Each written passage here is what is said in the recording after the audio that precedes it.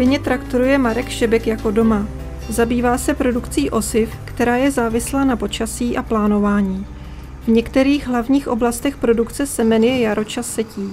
Ovšem kvůli suchu šla letošní svazenka do půdy později. Směřujeme množitelské porosty většinou do kvality E1, což jsou evropsky uznávané osiva.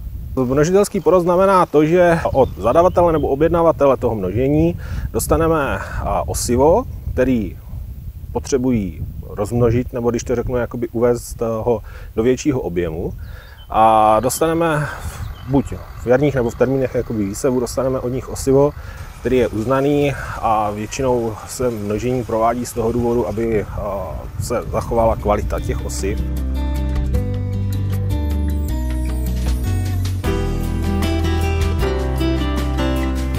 Na jeho práci pravidelně dohlíží terénní inspekce Ústředního kontrolního a zkušebního ústavu zemědělského. Při kontrolách zajišťuje zejména dílčí úkony potřebné pro certifikaci osiv a sadby. V většině případů jsou to jedna až tři přehlídky toho porostu, a kde se sleduje ten porost a jeho stav, čili jakoby to, to, když řeknu dobře, vzrostlo, je to krásný jakoby souvislý porost. A potom se sleduje, další přehlídky jsou většinou jakoby v období květenství, kdy se vlastně jakoby kontroluje stav těch, těch květů, případně jejich poškozený. Při třetí přehlídce jsou kontrole podrobována samotná semínka, respektive jejich velikost.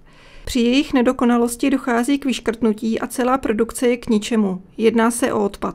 Tam v těch parametrech se sledují především vlhkost, čistota toho osiva a klíčivost především.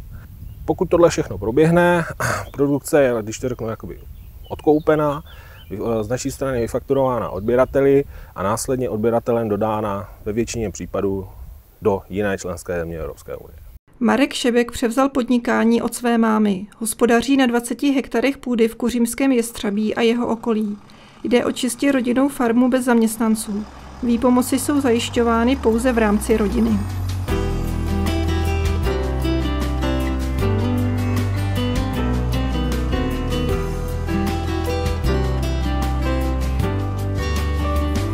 Ty úvahy byly jakoby změnit směr, dokonce i z rodiny, vlastně jakoby rodiče a doporučovali změnit směr jako zemědělství v té době, přihlednutím jakoby k době jakoby těch 15-20 let zpátky to byl relativně neperspektivní obor, bez nějakých jakoby relativně velkých možností, tak mám jiný obor zaměřený na administrativu, ale stejně jsem se vrátil k zemědělské produkci.